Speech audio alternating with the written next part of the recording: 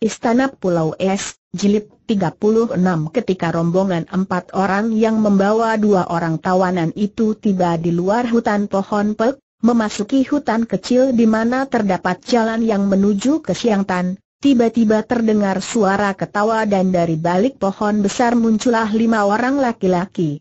Yang tertawa adalah seorang kakek berusia 70 tahun lebih, berambut dan berjenggot panjang, sudah putih semua, Pakaiannya terbuat dari sutra mahal akan tetapi bentuknya sederhana seperti pakaian pendeta, tangannya memegang sebatang tongkat kayu cendana berselaput emas dan sikapnya agung seperti sikap orang yang biasa memerintah. Adapun empat orang yang berdiri di belakangnya adalah orang-orang yang berpakaian mewah. Dapat dibayangkan betapa kaget hati Bu Koksu ketika mengenal kakek itu yang bukan lain adalah Pek Mau Senjin, Koksu dari kerajaan Yuchen, sedangkan para pengikutnya itu adalah Sumahoat, Panglima Dailuba yang bermata lebar dan bertubuh tinggi besar, Tai Lek Xiao Hut yang gendut pendek dan tertawa-tawa, dan seorang Yuchen yang berpakaian indah dan berwajah tampan, yaitu Pangeran Danu yang memiliki kedudukan penting di kerajaan Yuchen. Hahaha, sungguh lucu dan aneh. Bukok Su sebagai pimpinan tertinggi pada saat ini dalam benteng pertahanan di Siang Tan, kiranya masih sempat berkeliaran di dalam hutan Mau Senjin mengejek sungguh pun dia mengangkat kedua tangan di depan dada sebagai penghormatan. Pada waktu itu kerajaan Yuchen sedang berkembang dan sudah menguasai sebagian besar Tiongkok Utara, bahkan terpaksa kerajaan Sang pindah ke selatan dan mengakui kerajaan Yuchen ini. Untuk ikatan persahabatan, Bahkan Putri Song Hang KWI telah diserahkan untuk menjadi istri Pangeran Danus sebagaimana telah diceritakan di bagian depan cerita ini. Akan tetapi, hanya pada lahirnya saja kedua kerajaan ini bersahabat, sebetulnya di dalam hatinya saling menganggap musuh besar. Bukoksu cepat membalas dengan penghormatan selayaknya, kemudian menjawab dengan suara halus namun mengandung ejekan balasan pula, Selamat berjumpa, Pek Mau Senjin. Tempat ini termasuk wilayah kerajaan kami, maka tidaklah mengherankan apabila sebagai koksu negara mengadakan pemeriksaan sendiri di sini. Barulah aneh namanya kalau koksu negara Yuchen bersama Panglima dan Pangeran berada di sini bukan sebagai tamu negara yang resmi. Karena pertemuan ini tidak diduga-duga lebih dulu, maka biarlah saya mewakili negara untuk mengundang Cui sekalian sebagai tamu terhormat kami di Siang Tan. Hahaha. Saya mendengar bahwa Bu Koksu amat lihai kepandaiannya kiranya sekarang lihai juga bicaranya. Terima kasih, Bu Koksu. Akan tetapi, ada sebuah hal yang memaksa pertemuan antara kita ini menimbulkan rasa tidak enak kepada kedua pihak. Sungguh menyesal sekali. Hati Bu Koksu berdebar dan dia sudah menduga bahwa persoalan itu tentu menyangkut kedua orang tawanannya. Akan tetapi ia tetap bersikap tenang dan bertanya, di pihak kami, tidak ada persoalan dan sungguh pun jelas bahwa Cui melanggar wilayah kami bukan sebagai tamu, kami masih bersikap ramah dengan mengundang Cui sebagai tamu kami. Hal ini agaknya juga diketahui dengan jelas oleh Sumakong Chu, yang entah bagaimana bisa menemani Koksu dan Pangeran. Mendengar ini dan melihat pandang mata Bu Koksu ditujukan kepadanya dengan sinar tajam menyelidik, Sumahoa tersenyum saja dan matanya memandang ke arah Xiao Bwe yang tubuhnya dibelenggu dan dipanggul di atas pundak Tian Ek Chin Jin. Dia tidak mau menjawab dan hanya mengandalkan kepada jawaban Pek Mau Senjin sekutu ayahnya. Maafkan, kalau kami melanggar wilayahmu, Bu Koksu. Hanya kami rasa bahwa sebagai sahabat-sahabat, tiada salahnya kalau kami melihat-lihat keadaan wilayah selatan ini. Kebetulan sekali kita bertemu, akan tetapi tidak kebetulan bahwa kami melihat kalian memperlakukan sahabat kami sebagai tawanan, sungguh amat tidak enak bagi kami. Maka, mengingat akan hubungan antara kita, saya harap sukalah Bu Kokse memandang muka kami dan membebaskan kedua orang tawanan ini. Berkerut alis Bu Koksu. Dia sudah menduga bahwa tentu kedua orang tawanan itu yang akan dipersoalkan. Akan tetapi dia masih penasaran dan cepat berkata, maaf, Pek Mau Senjin. Kedua orang ini adalah orang-orang Hon, dan urusan kami dengan mereka tidak ada sangkut pautnya dengan Koksu dan kerajaan Yuchen. Harap Koksu suka mempertimbangkan dan tidak mencampuri urusan pribadi sendiri. Hahaha, melihat sahabat-sahabat baik diperlakukan tidak hormat, bagaimana kami dapat tinggal diam saja? Ingatkah Koksu akan peribahasa yang mengatakan bahwa sahabat lebih berat daripada tangan kiri? Mereka adalah sahabat-sahabat kami, tentu saja kami tidak suka melihat mereka mengalami penghinaan seperti itu. Pek mau Senjin Bu Koksu berkata marah. Saya tidak melihat hubungan antara mereka ini dengan kalian. Saya rasa kalian tidak mengenal kedua orang ini, apalagi bersahabat. Bukan sahabat saya pribadi, akan tetapi sahabat baik Pangeran Danu. Silakan menjawab Pangeran, Pek Mau Senjin berkata dan Pangeran Danu melangkah ke depan sambil berkata, Bu Koksu, ketahuilah bahwa Kam Hon Ki itu adalah seorang sahabatku, sahabat pribadi yang amat baik. Bahkan dia pernah memukul mundur pasukan-pasukan Manchu untuk menolong kami, bagaimana aku dapat membiarkan dia kau perlakukan seperti itu? Oleh karena itu, aku sebagai mantu dari kaisarmu, ku minta supaya kau suka memandang mukaku dan membebaskan Kam Hon Ki sahabatku. Dan gadis ini Bu Koksu yang diam-diam merasa terkejut dan gelisah itu bertanya penasaran. Gadis ini adalah KH Xiao Bue, sahabat baik sekali dari Suma Kongcu. Karena Suma Kongcu merasa sungkan mengajukan permintaan dan menentang Koksu sebagai rekan sendiri, maka biarlah saya yang mewakilinya dan mintakan agar Nona KHU kau beri kebebasan pula. Merah muka Bu Koksum mendengar ini. Kedua orang ini adalah orang-orang tangkapan kami karena mereka merupakan pemberontak-pemberontak. Betapa mungkin kami membebaskannya. Kalau Koksu dan Pangeran ingin membelanya dan mohon pembebasannya, harap suka mengajukan permintaan resmi agar diputuskan oleh Kaisar sendiri. Saya tidak berani lancang mengambil keputusan dan menyerahkan dua orang tawanan penting di tengah jalan begitu saja kepada Cui. Hem, jawaban itu berarti bahwa Bu Koksu tidak memandang kami sebagai sahabat Pek Mau Senjin berkata dengan suara getir. Saya cukup menghargai persahabatan antara kita, akan tetapi tentu saja saya lebih menghargai tugas dan kedudukan saya. Kalau kami memaksa, terserah, kami akan mempertahankan. Hahaha. Bu Koksu sungguh tak tahu diri. Keadaan kota Siangtan sedang terancam pasukan Manchu, siapa lagi yang akan dapat menolong kalau bukan pasukan kami? Akan tetapi Bu Koksu lebih mementingkan urusan pribadi. Baiklah, urusan pribadi kita selesaikan secara pribadi pula. Sudah lama aku mendengar bahwa Bu Koksu memiliki ilmu kepandaian yang amat hebat, terutama sekali ilmu goloknya yang belum pernah bertemu tanding. Kesempatan ini hendak kugunakan untuk mengenal ilmu golok Bu Koksu. Kalian berempat, kami pun akan maju berempat dan siapa menang dalam pertandingan ini berhak atas kedua orang tawanan itu. Bukan kami yang memancing permusuhan, kami hanya mempertahankan diri. Silakan, Pek Mau Senjin, Jangan mengira bahwa aku takut kepadamu Bu Koksu yang sudah marah sekali lalu mencabut goloknya sehingga terdengar bunyi berkerincingan nyaring.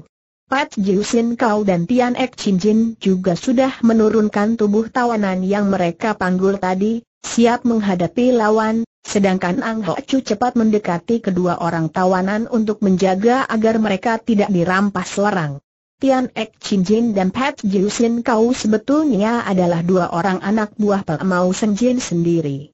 Seperti telah diceritakan di bagian depan, dua orang yang bergabung dengan Choa Beng Chu di pantai Toh Ai ini diam-diam telah mengadakan hubungan dengan kerajaan Yuchen. Atas permintaan Pek Mau Senjin, kedua orang ini berhasil menyelundup dengan membawa Kam Hon Ki yang pingsan, menyerahkannya kepada Bu Koksu sehingga mereka berdua diangkat menjadi pengawal. Karena inilah maka Pek Mau Senjin girang sekali melihat kedua orang sekutunya itu kini mengawal Bu Koksu dan diam-diam ia memberi tanda dengan kejapan mata kepada mereka. Tian Ek Chin meloncat ke depan, berhadapan dengan Tai Lek Xiao Hut Gerol Kisi gendut pendek yang tertawa-tawa, yang sebetulnya adalah temannya sendiri. Tanpa banyak cakap lagi mereka sudah bertanding, Tai Lek Xiao Hut menggunakan sebatang golok besar sedangkan Tian Ek Cincin menggunakan sebatang pedang. Juga Pet Jiusin kau sudah saling berkedip dengan Panglima Dailuba yang menyambutnya. Mereka pun tanpa banyak cakap sudah saling bertanding, menggunakan tangan kosong karena kedua orang ini merupakan ahli-ahli silat tangan kosong. Pertempuran terjadi dengan seru dan karena pandainya mereka berempat bersandiwara, Bu Koksu sendiri tidak pernah menyangka bahwa mereka itu tidaklah bertanding sungguh-sungguh. Hahaha, dua orangmu telah bertempur melawan dua orang pembantuku. Tinggal kita berdua. Marilah kita coba-coba, Bu Koksu kata Pek mau senjin sambil menggerakkan tongkatnya menusuk. Kring-kring terang Keduanya terpental ke belakang ketika tongkat itu tertangkis oleh golok bergelang. Kemudian keduanya maju lagi saling serang dengan dahsyat. Gerakan Bu Koksu amat dahsyat dan kuat, goloknya mengeluarkan bunyi mengerikan dan golok yang berat itu diputar sampai berubah menjadi segulung sinar menyilaukan mata. Namun gerakan tongkat di tangan Pek Mau Senjin lebih cepat lagi, Tampak sinar keemasan bergulung-gulung menyelubungi gulungan sinar golok, bahkan dalam hal tenaga sinkang, tingkat Pek Mau Senjin masih lebih tinggi sehingga lewat 40 jurus, Bukoksu selalu terdesak dan terhimpit. Ang Hok Chi yang sedang gelisah menyaksikan betapa Bukoksu dan dua orang pengawalnya terdesak mengambil keputusan untuk membunuh saja dua orang tawanan yang berbahaya itu. Dia sudah mencabut goloknya, langsung dia bacokkan ke arah leher Kam Hon Ki. Perang Ang Hok Chi terkejut dan melompat mundur, memandang Suma Hoat yang sudah menangkis goloknya dengan pedang. Suma Kong Chu, apa yang kau lakukan ini? Apakah engkau hendak memberontak dan membela musuh? Suma Hoat tersenyum. Hem, orang Siang, ini bukan urusan negara, melainkan urusan pribadi. Sudah dijanjikan bahwa siapa yang keluar sebagai pemenang, berhak atas diri kedua orang tawanan ini. Mengapa engkau hendak bersikap curang dan membunuh tawanan? Bagus. Ayahmu tentu akan senang sekali mendengar akan pengkhianatanmu ini Ang Hok Chi memaki dan menyerang dengan golok menyambar ke arah leher Suma Hoat, sedangkan tangan kirinya melancarkan pululan dengan tenaga Jit Goat Sinkang ke arah dada Suma Hoat. Keringat, duk. Tubuh Ang Hok Chi terlempar ke belakang, ketika goloknya tertangkis oleh pedang Sumahoat, sedangkan pukulan dengan tenaga Jit Goat Sinkang tadi ditangkis pula oleh Sumahoat dengan ilmu yang sama, akan tetapi jauh lebih kuat. Hal ini dapat dimengerti karena kalau Wang Hok Chi memperoleh ilmu Jit Goat Sinkang dari hasil curian ketika dia menyelundup ke lembah orang kusta, adalah Sumahoat menerima gemblengan langsung dari Butek Lojin, bahkan dia merupakan murid terpandai. Dengan pedangnya Sumahoat mematahkan belenggu yang mengikat kaki tangan Xiao Bue dan membebaskan totokannya. Terima kasih, ternyata engkau seorang sahabat yang baik. Sumahoat Xiao Bue berkata singkat lalu meloncat mendekati suhengnya yang masih pingsan, membukakan belenggu kaki tangan Honki dan membebaskan totokan. Akan tetapi Honki masih pingsan, bukan karena totokan melainkan karena guncangan ketika pengobatan hampir berakhir tadi. Cepat Xiao Bwe menempelkan kedua telapak tangannya ke dada pemuda itu dan perlahan-lahan ia menyalurkan hawa sinkang ke dalam tubuh suhengnya dengan amat hati-hati. Ang Hok Chi sudah menerjang lagi, disambut oleh pedang Sumahoat. Karena pemuda yang berjuluk Jai Hwe Asian ini memiliki tingkat kepandaian yang jauh lebih tinggi, dengan mudah ia mempermainkan Ang Hok Chi sambil tertawa-tawa. Suma Kongsu, bunuh saja tikus itu tiba-tiba terdengar suara Pek Mau Senjin. Dan aku yang akan membunuh tikus besar ini. Suma Hoa terkejut dan ragu-ragu. Biarpun dia harus mentaati perintah ayahnya yang bersekutu dengan kerajaan Yuchen, akan tetapi kalau harus membunuh seorang yang setia kepada kerajaan Sang, hatinya masih merasa berat dan ketika ia menoleh, ia melihat betapa Bu Koksu terhimpit bahaya oleh tongkat di tangan Pek Mau Senjin yang kini jelas bukan hanya memperoleh kemenangan untuk memperebutkan kedua orang tawanan, melainkan berniat membunuh Bu Koksu. Ini hebat, pikir Sumahoat yang menjadi bingung, tidak tahu harus berbuat apa. Ketika ia memutar pedang menahan serangan-serangan golok lawan dan menoleh ke arah Pet Jiusin Kau dan Tian Ek Chin Jin yang melawan Panglima Luba dan Tai Lek Xiao Hut, dia mendapat kenyataan bahwa pertempuran masih berlangsung seru dan bahwa mereka itu ternyata hanya seperti sedang berlatih saja. Sumahoat amat cerdik, maka mengertilah dia bahwa dua orang pengawal dan pembantu Bu Koksu itu ternyata adalah anak buah Yu Chen pula. Diam-diam ia mengkhawatirkan keselamatan Bu Koksu. Betapapun juga, dia tahu betul bahwa Bu Koksu adalah seorang yang amat setia kepada negara, seorang pahlawan sejati yang menjuruskan segala perbuatannya demi kepentingan kerajaan Sang. Dia masih terus mempermainkan Ang Ho Chi, tidak mau membunuhnya karena hendak melihat bagaimana perkembangan pertandingan antara kedua orang guru negara itu. Dia merasa serba salah. Untuk membantu Bu Koksu, berarti dia menentang Yu Chen dan hal ini tentu tidak akan disetujui ayahnya, sebaliknya, untuk membantu Pek Mau Seng Jin, hati nuraninya tidak mengizinkan. Selain itu dia maklum pula bahwa ilmu kepandaian Pek Mau Seng Jin amat tinggi, tidak hanya lebih tinggi daripada kepandaian Bu Koksu, juga lebih tinggi daripada tingkat kepandaiannya. Belum lagi diingat bahwa di situ terdapat Panglima Luba, Pat Jiusin Kau, Tai Lek Xiao Hut, dan Tian Ek Chin Jin yang ternyata adalah kaki tangan Pek Mau Seng Jin. Dia tidak berdaya dan hanya menonton sambil menahan serangan golok Ang Ho Chi sonaknya. Bukok Su juga tahu akan perubahan gerakan tongkat lawan yang kini menjadi cepat sekali dan melancarkan serangan-serangan maut. Dia tidak menjadi gentar dan maklum bahwa persoalan merampas tawanan itu hanya sebagai pancingan saja, sedangkan niat di hati Koksu negara Yuchen itu untuk membunuhnya. Kalau berada di tempat ramai, tentu saja Pek Mau Senjin tidak akan berani melakukan hal ini, karena membunuh dia berarti pecah perang terbuka antara kerajaan Sang dan kerajaan Yuchen. Akan tetapi kalau dia dan semua pembantunya terbunuh di situ, tidak akan ada yang tahu bahwa pembunuhnya adalah Kok Suyu Chen. Maka dia memutar goloknya melawan mati-matian, mengerahkan seluruh tenaga dan mengeluarkan segala kepandaiannya.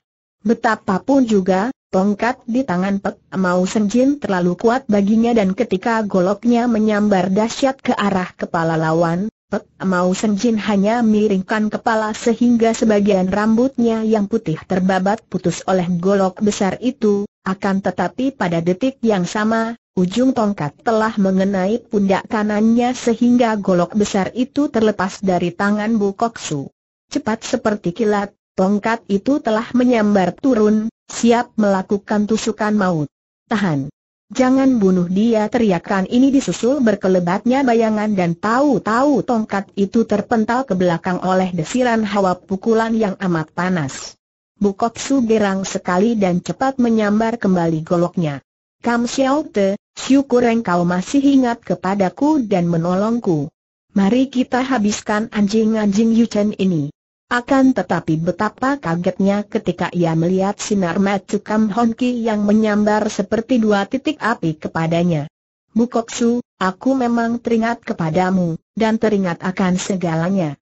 Engkau memang telah menolongku, merawatku, akan tetapi hanya untuk kau pengaruhi dengan racun sehingga di luar kesadaranku aku menjadi pengawalmu. Kam Xiao Te. Sudahlah, dan jangan menyebut Xiao Te kepadaku. Harap kau suka membawa semua anak buahmu pergi dari sini dan mudah-mudahan saja kita tidak akan saling bertemu kembali. Aku memaafkan segalanya. Bukok sumaklum bahwa tidak ada gunanya lagi membujuk pemuda yang sudah sadar itu, maka dia menarik napas panjang dan berkata, betapapun juga, Kam Xiao Te, aku telah menyelamatkanmu dari hukuman sebagai seorang pemberontak. Aku hanya ingin membangkitkan semangatmu membela negara. Selamat tinggal. Dan engkau, Pek Mau Senjin, apakah dengan perbuatanmu tadi engkau sengaja hendak memancing perang antara kedua kerajaan kita? Hahaha. Sudah kukatakan bahwa urusan ini adalah persoalan pribadi, kalau engkau hendak membawa-bawa kerajaan, terserah. Kerajaan Yuchen tidak pernah takut terhadap ancaman kerajaan Sang. Kurasa kerajaan Sang tidak begitu bodoh untuk menambah musuh yang lebih kuat lagi di samping pasukan-pasukan Manchu, hahaha. Mari kita pergi Bu Koksu berkata kepada para pembantunya dan Ang Hok Chi, Pat Jiusin Kau, dan Tian Ek Chin Jin segera meninggalkan tempat itu mengikuti Bu Koksu. Di tengah perjalanan menuju ke Siang Tan, Ang Hok Chi berkata kepada kedua orang rekannya, aku tadi melihat betapa Jiwi tidak bertanding sungguh-sungguh dengan kedua lawan Jiwi. Pat Jiusin Kau dan Tian Ek Chin Jin terkejut, akan tetapi sambil tertawa Pat Jiusin Kau berkata, kami sendiri tidak mengerti, Ang Siu Chai. Jelas bahwa kalau mereka menghendaki, kami tidak akan menang. Kepandaian Panglima Dailuba itu amat tinggi, Terus terang saja aku tidak mampu menandinginya, sedangkan tingkat kepandaian Tai Lek Xiao Hut masih menang sedikit dibandingkan dengan tingkat Tian Ek Chin Jin. Akan tetapi karena kami anggap pertandingan itu hanya untuk menguji kepandaian, maka tidaklah mengherankan kalau mereka tidak berniat membunuh kami. Hem, akan tetapi si rambut putih itu jelas berniat buruk terhadap diriku, Bukok Su mengomel.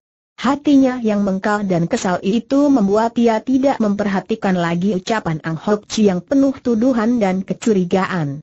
Sementara itu, sambil memandang semuanya yang kini berdiri di sampingnya, Kam Hon Ki berkata, sekarang aku ingat semua, Sumoy. Kalau tidak ada engkau yang membantu, entah bagaimana jadinya dengan aku.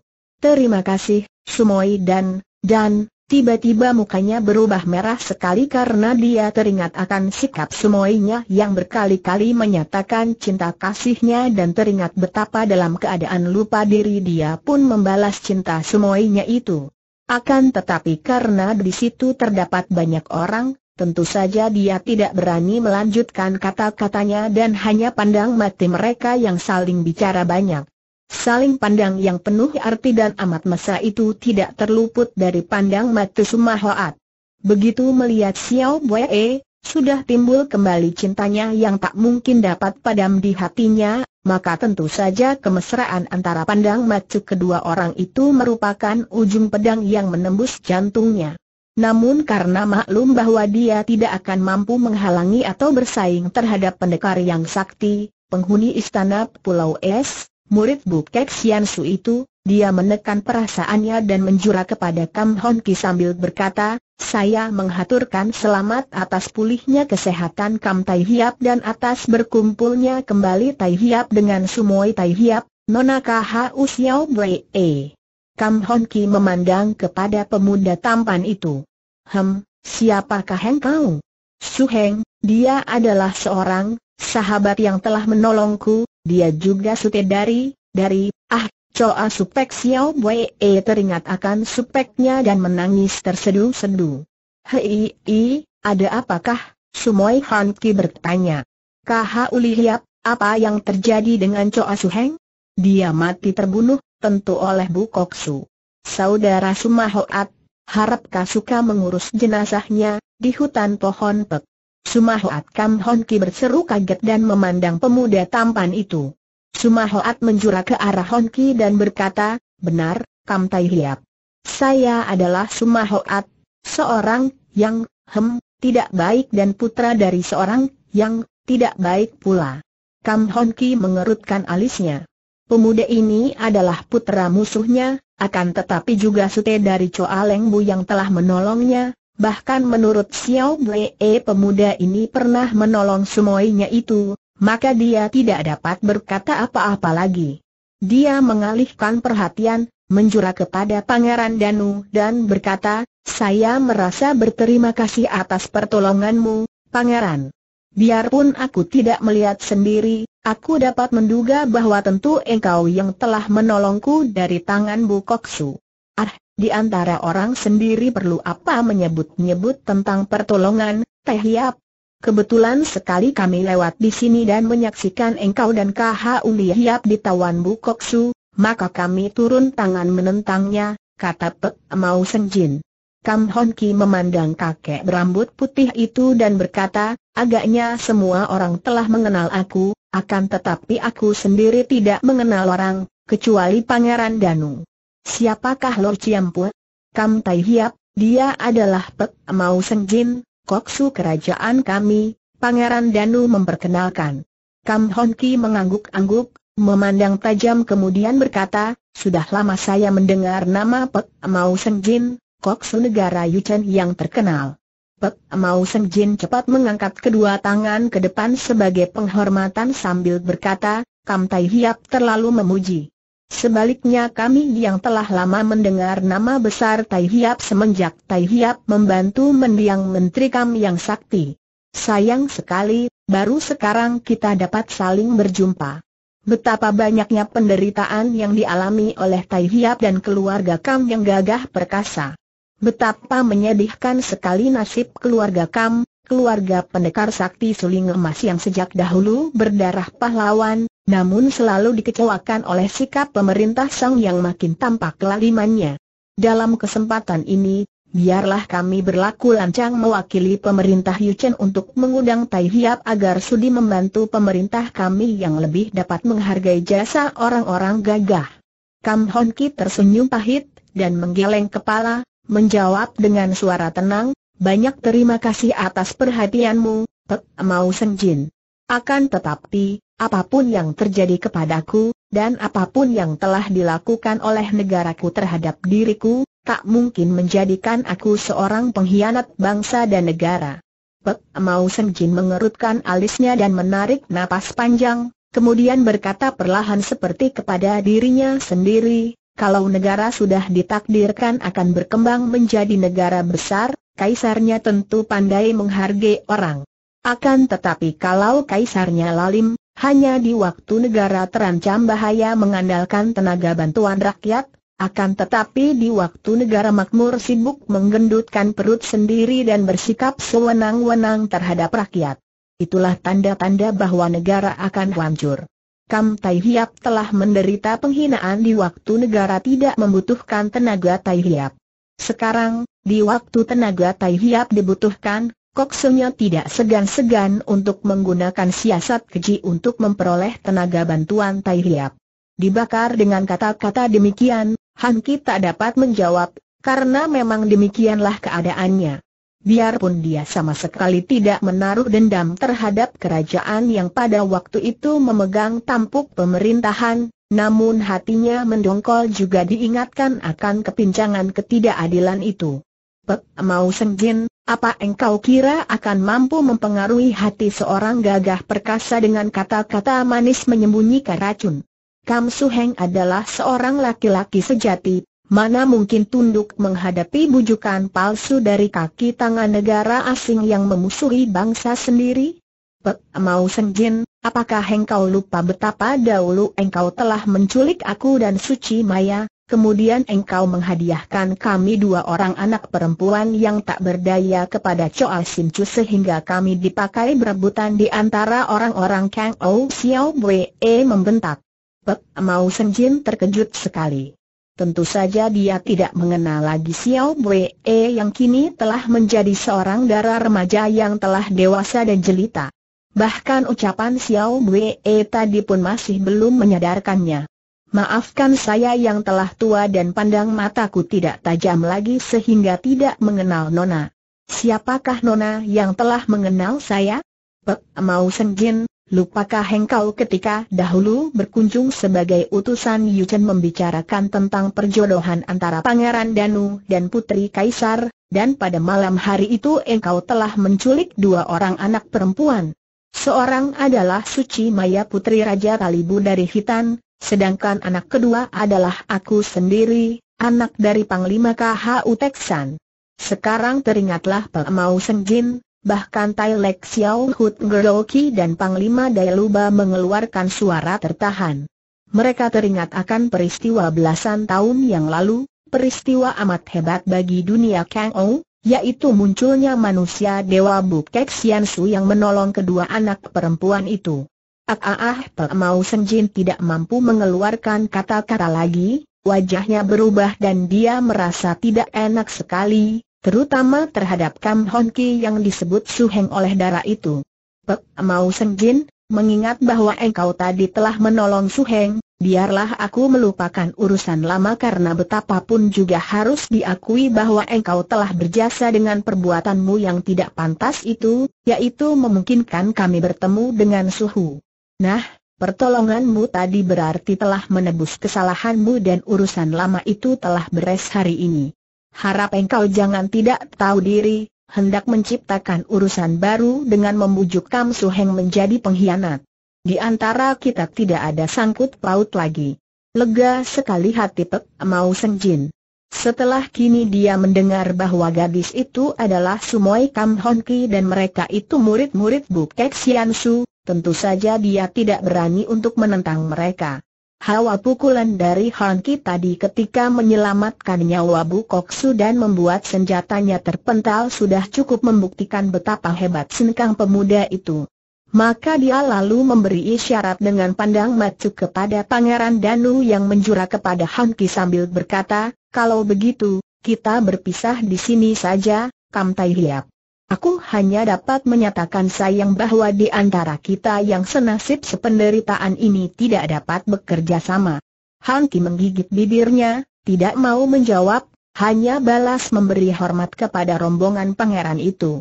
Memang benarlah kalau pangeran itu mengatakan bahwa mereka berdua adalah senasib sependeritaan, karena keduanya mencinta Song Hang Kwei, dan keduanya menderita oleh cinta kasih mereka itu.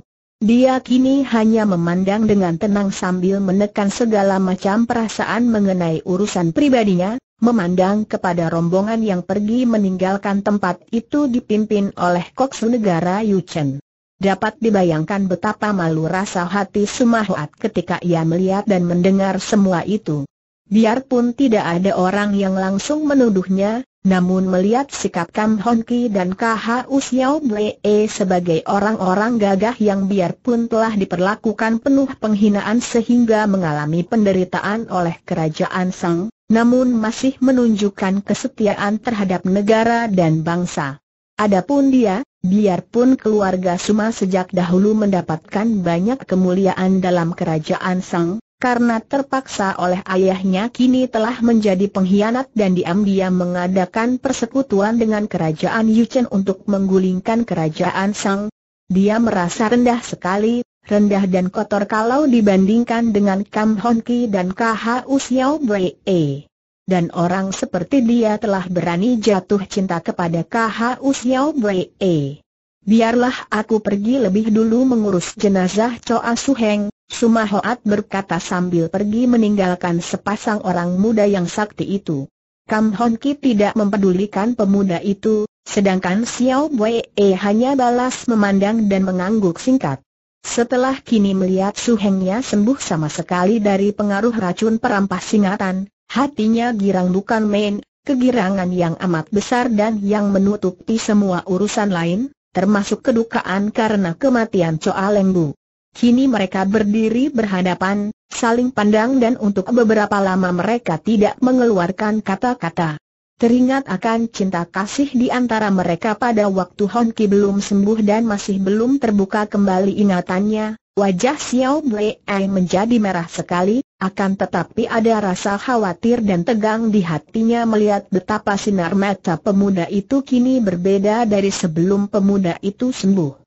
Sinar mata itu masih tajam, bahkan lebih tajam dari sebelumnya, mengandung wibawa yang amat kuat, masih penuh dengan kasih sayang. Akan tetapi bukankah sejak dahulu di Pulau Es, Hanki menaruh kasih sayang kepada kedua orang sumbuinya? Sekarang ada sesuatu yang lenyap dari sinar mata itu. Kemesraan. Sebelum sembuh, suhengnya yang terang-terangan menyatakan cinta kasih kepadanya itu kalau memandangnya, tampak jelas kemesraan di dalam sinar matanya dan kini dia seolah-olah tidak menemukan lagi kemesraan itu. Hanki menghela napas panjang. KH Usumoy, betapa banyaknya orang-orang yang telah melepas budi kebaikan kepadaku terutama sekali Choa Long Hiong yang telah mengorbankan nyawa untukku dan yang terutama adalah engkau sendiri. Betapa engkau sudah banyak menderita, semua untuk menolongku belaka.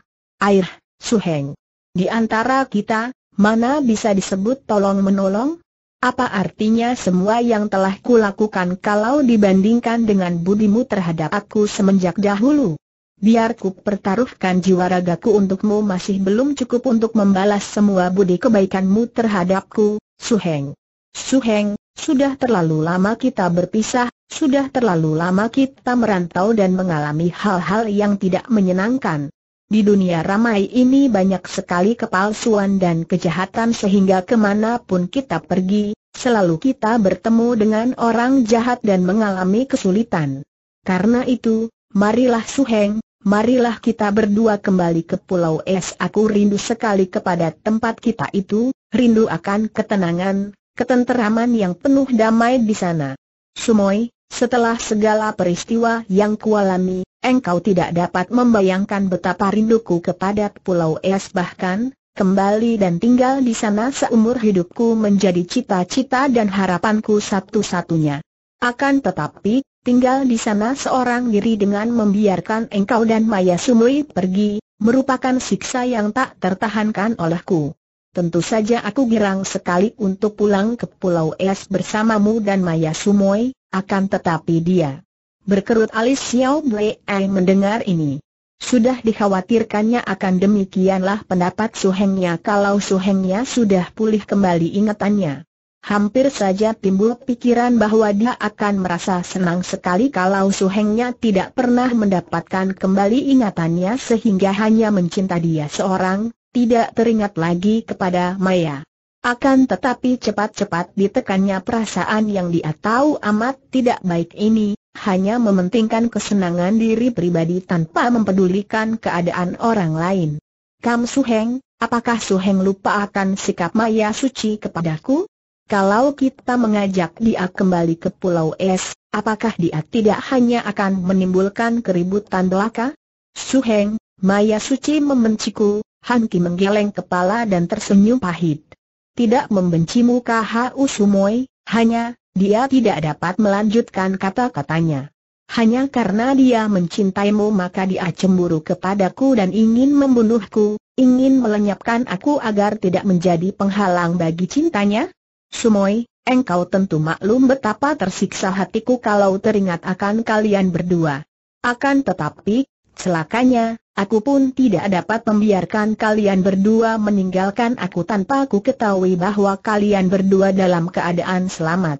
Baru akan tenang hidupku kalau kalian sudah kembali bersamaku ke Pulau Es. Sekarang aku akan berusaha agar kalian berdua hidup dengan rukun, sebagai saudara seperguruan yang saling mencinta, Kam Suheng, katakanlah sesungguhnya, apakah pernyataan cintamu terhadap aku hanya palsu belaka dan engkau menyatakannya untuk membalas budi pertolonganku, saja? Han Ki memandang dengan mata terbelalak dan muka berubah pucat. Kemudian ia menarik napas panjang dan menjawab, Sumoy, sampai hati benar engkau menuduh aku seperti itu engkau tentu sudah yakin akan cintaku kepadamu, akan tetapi, harap engkau jangan bersikap seperti Maya Sumo yang hanya mementingkan diri sendiri saja. Kalau aku hanya menurutkan hati cinta dan ingin hidup senang sendiri saja, betapa mungkin hatiku akan tenteram dan tenang. Tidak, KHU Sumoy, Aku baru akan dapat bicara tentang cinta, dapat bicara tentang masa depan kalau kita bertiga sudah kembali ke Pulau Es. Aku tidak akan menentang perpisahan di antara kita bertiga karena hidup memang selalu berubah, ada waktu berkumpul tentu ada waktu berpisah, akan tetapi hendaknya perpisahan itu terjadi dalam keadaan baik dan tidak seperti yang lalu, saling berpisah dalam keadaan permusuhan. Suheng, kita sama mengetahui bahwa Maya Suci mencintamu seperti aku mencintamu pula. Betapapun beratnya bagimu, engkau harus mengambil keputusan siapa di antara kami berdua yang kau cinta. Tanpa keputusan itu, engkau hanya akan menciptakan permusuhan di antara kami berdua. Sumoy, kita tunda dahulu urusan cinta ini. Yang penting sekarang kita bertiga harus kembali ke Pulau Esmaya Sumoy adalah saudara kita. Sekarang dia telah menyeleweng demi pembalasan dendamnya dan telah menjadi seorang panglima mancu. Apakah mungkin aku mendiamkannya saja? Tidak, Sumoy. Aku harus menginsyafkannya dan harus mengajaknya pulang ke Pulau Es dengan demikian, barulah aku tidak merasa berdosa kepada suhu dan tidak menyia-nyiakan pesan suhu. Xiao Wei merasa terdesak. Darah jelita ini menarik napas panjang dan berkata, Hem, agaknya engkau yang lebih benar, Su Heng, dan agaknya akulah yang buta oleh cemburu. Baiklah, engkau boleh mencoba untuk membujuknya pulang ke Pulau Es, akan tetapi engkau harus lebih dulu mengantarku ke Pulau Es, baru kau pergi mencari suci. Kalau sekarang engkau mencarinya dan mengajaknya kembali ke Pulau Es, dia tentu akan menolak kalau dia melihat aku bersamamu. Hanki mengangguk-angguk. Memang tepat kata-kata semuanya ini. Watak Maya amat keras. Dia masih dapat membujuk dan membuat lunak hati Xiao Bue, akan tetapi sukar sekali baginya untuk membujuk Maya kalau semuanya itu melihat Xiao Bue bersama dia. Baiklah, Sumoy. Mari kita segera berangkat. Dua orang itu segera mempergunakan ilmu kepandaian mereka berlari cepat menuju ke pantai untuk melanjutkan perjalanan melalui laut, menggunakan sebuah perahu kecil menyeberang ke Pulau Es di dalam perjalanan yang dilakukan dengan cepat ini, Xiao Bwe tidak dapat menahan keinginan taunya akan dendam dan sakit hati mereka terhadap musuh-musuh yang telah mencelakakan keluarga mereka. Dia mengajukan pertanyaan kepada suhengnya dengan suara bersungguh-sungguh dan pandang mata tajam menyelidik.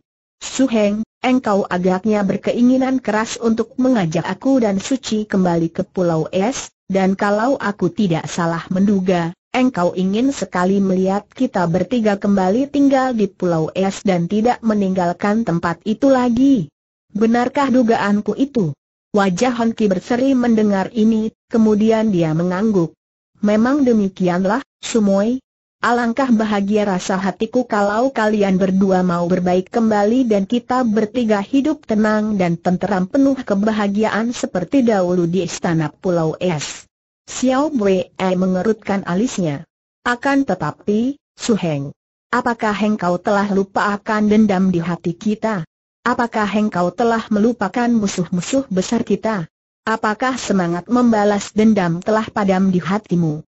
Sumoy, kita tidak boleh melupakan ajaran Suhu yang banyak disebut dalam kitab-kitabnya. Dendam adalah nafsu yang paling buruk dan jahat, sumber dari segala pertentangan dan permusuhan antara manusia. Dendam adalah sifat yang paling menonjol dari iba diri dan kalau kita dimabokkan olehnya, hati dan pikiran kita akan menjadi gelap karena dendam menimbulkan benci dan kebencian menimbulkan kekejaman. KHU Sumoy, katakanlah, siapakah yang kau anggap musuh besarmu, yang mendatangkan dendam sakit hati padamu? Siapa lagi kalau bukan manusia jahat Sumakiat? Dia telah menyebabkan kehancuran keluarga ayahku. Manusia itu harus kubunuh untuk membalas dendam keluargaku. Hanki menarik napas panjang. Sumoy, engkau telah dapat bersikap baik kepada putranya, Sumahoat, Mengapa engkau tidak dapat bersikap sama baiknya kepada ayahnya? Sumahoat seorang yang baik dan dia bersikap baik kepadaku, sedangkan ayahnya adalah musuh besarku. Hem, betapa tepat jangan suhu dahulu. Hutang budi dan dendam hanya merupakan bunga dari sifat sayang diri belaka. Sumoy, andai kata Sumakia tidak berbuat yang merugikan keluargamu, Andai kata dia melakukan hal yang baik seperti yang dilakukan putranya, tentu dia takkan kau anggap musuh. Jadi, sama sekali bukan pribadinya yang membuat engkau mendendam, melainkan perbuatannya terhadap dirimu. Kalau perbuatan itu baik dan menguntungkan dirimu, maka engkau merasa berhutang budi. Kalau perbuatannya buruk bagimu dan merugikan dirimu, tentu akan kau anggap sebagai dendam sakit hati yang harus dibalas. Dengan demikian, maka terciptalah rantai yang tiada putusnya berupa balas-membalas, baik membalas budi maupun membalas dendam. Bukankah itu sudah seharusnya demikian, Suheng? Sudah adil kalau budi dendam dibalas sehingga menjadi adil namanya? Bukankah sudah demikian pada umumnya hukum karma? Hanki menggeleng kepalanya. Memang demikianlah pendapat umum yang telah menjadi tradisi usang. Karena kepercayaan dan pendapat turun-temurun seperti inilah membuat kita terseret ke dalam arus yang dibuat manusia sendiri dan dinamakan karma. Meter rantai itu terbentuk dari perbuatan-perbuatan yang menghendaki akhiran yang menyenangkan, perbuatan-perbuatan yang bertujuan, berpamrih. Apakah artinya perbuatan baik maupun buruk kalau didasari tujuan tertentu, berpamrih yang bukan lain hanya pencetusan dari rasa sayang diri belaka? Perbuatan demikian itu, baik maupun buruk adalah perbuatan yang tidak wajar, yang palsu dan karenanya selalu berkelanjutan dan berekor tiada kunjung putus dan menjadi hukum karma. Layaknya kalau hidup kita ini hanya kita isi dengan perbuatan-perbuatan palsu yang lebih patut disebut hutang pihutang. Tiada kebebasan, tiada kewajaran sama sekali. Xiao Wei terkejut dan juga terheran mendengar pendapat yang baru sama sekali ini, yang belum pernah didengarnya. Ia memandang suhengnya dengan alis berkerut dan dia membantah, akan tetapi, suheng. Apakah engkau hendak menganjurkan agar kita tidak usah mengenal dan membalas budi? Suheng. Orang yang tidak mengenal budi adalah orang yang rendah dan tidak baik. Kembali Han Ki menggeleng kepalanya, memandang semuanya dengan tajam lalu berkata, suaranya bersungguh-sungguh. Ucapanmu itu mencerminkan pandangan umum, namun sesungguhnya pandangan seperti itu adalah tidak tepat, Sumoy. Mengapa tidak tepat? Orang harus selalu mengingat budi orang lain yang dilimpahkan kepadanya dan berusaha untuk membalas budi itu. Cobalah renungkan dalam-dalam dan dengarkan baik-baik kata-kataku ini, Sumoy, Orang yang mengingat dan membalas budi orang lain adalah orang yang menghendaki agar budinya diingat dan dibalas orang lain pula. Apa salahnya dengan itu? Saling membalas budi adalah perbuatan orang sopan dan baik. Kalau sudah dijadikan keharusan balas-membalas, berarti bayar-membayar dan perbuatan itu tidak patut disebut budi lagi, melainkan semacam hutang pihutang. Dengan mengingat dan membalas budi orang lain berarti merendahkan orang itu, merendahkan pula nilai perbuatannya yang hanya disamakan dengan hutang. Renungkan baik-baik, Sumoy. Bukankah begitu? Xiao Bue tercengang, kemudian menarik napas panjang dan mengangguk perlahan. Wah, kebenaran pendapatmu tak dapat dibantah memang, Suheng. Akan tetapi sungguh janggal, sungguh aneh dan menyimpang dari pendapat umum. Bukan pendapatku, Sumoy. Setiap pendapat dari siapa pun juga datangnya, tidak dapat dibenarkan, karena pendapat hanya memancing pertentangan. Kalau yang kau dengar tadi kau sebut sebagai pendapatku dan kau anggap benar, tentu akan muncul orang lain yang menganggapnya tidak benar, maka terjadilah pertentangan. Aku hanya mengajak engkau bersamaku mempelajari hal itu dan bersama mencari tahu apa artinya membalas dendam. Sudah jelas sekarang bahwa budi dan dendam hanyalah pencetusan dari sayang diri yang menciptakan karma, menciptakan sebab dan akibat. Kalau kita tersesat, takkan pernah kita dapat membebaskan diri dan hidup ini menjadi sia-sia, menjadi permainan sebab akibat. Karena si akibat sendiri pun berekor dan menjadi sebab dari akibat yang lain lagi. Sedangkan si sebab pun menjadi akibat dari sebab yang terdahulu. Bukankah seyogianya kalau kita membebaskan diri dari ikatan meter rantai yang tiada kunjung putus itu? Akan tetapi, Suheng, manusia jahat macam Sumakiat telah mengakibatkan kematian ayahku, kehancuran keluarga ayah. Mana mungkin aku tinggal diam saja tidak membalas dendam yang hebat ini? Membalas dendam dengan care bagaimana, Sumoy? Tentu saja dengan membunuh manusia laknat itu. Hem, Sumoy, engkau bilang bahwa Sumakiat jahat karena menyebabkan kematian ayahmu, dan engkau hendak membalas dengan membunuhnya. Kalau dia membunuh ayahmu kemudian engkau membunuhnya, lalu siapakah di antara kalian berdua yang baik dan jahat? Mana mungkin melenyapkan kejahatan dengan kejahatan pula? Mana bisa merubah kekerasan dengan kekerasan pula?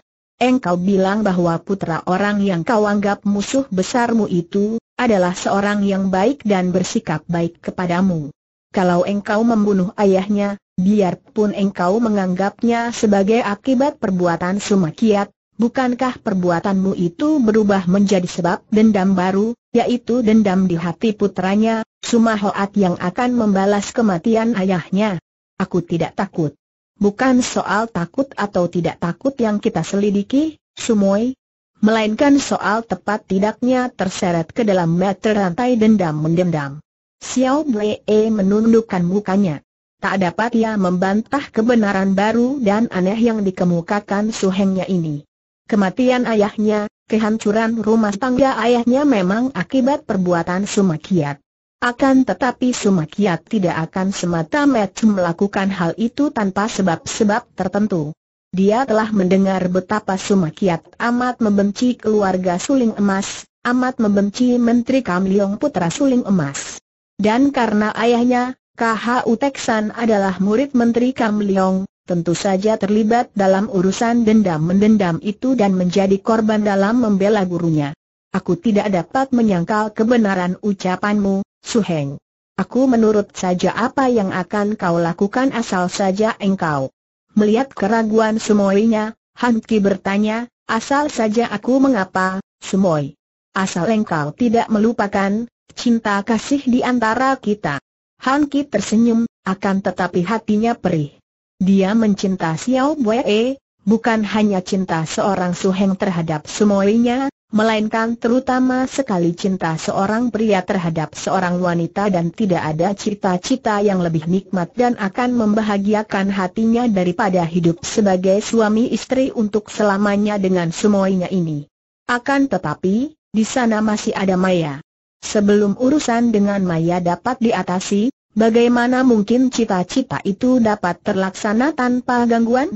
Mana mungkin manusia melupakan cintanya, Sumoy? Yang dapat dilupakan adalah cinta palsu, cinta birahi belaka yang sama sekali tidak ada harganya untuk dibicarakan. Nah, kau tinggallah di istana Pulau Es lebih dahulu, Sumoy. Aku akan kembali ke darat dan mengajak pulang Maya Sumoy, mereka telah tiba di tepi pulau Esiao Bwe meloncat ke darat, memandang suhengnya yang masih tinggal di dalam perahu, berkata penuh keraguan, bagaimana kalau dia tidak mau, suheng? Dia mau atau tidak, engkau, tentu akan kembali secepatnya ke sini, bukan? Dia tentu dan harus mau jawab Hanki sambil mendayung perahunya dengan cepat ke tengah laut menuju ke barat, diikuti pandang mata Xiao Bwe yang penuh dengan keraguan dan kegelisahan. Dia maklum akan perasaan hati suhengnya. Dia tahu bahwa suhengnya mencintanya, akan tetapi tahu pula bahwa suhengnya tidak mungkin dapat berbahagia, tidak dapat hidup tenteram sebelum membereskan urusan Maya. Dia bertambah gelisah karena Xiao Bwe juga maklum bahwa sucinya itu pun mencinta Hanki. Betapapun juga, dia telah menang dalam perebutan cinta kasih itu. Suhengnya mencintanya. Pikiran ini melegakan hati Xiao Bwe dan dia membalikan tubuh perlahan-lahan berjalan ke tengah pulau, menuju ke istana Pulau Es yang telah bertahun-tahun ditinggalkannya itu.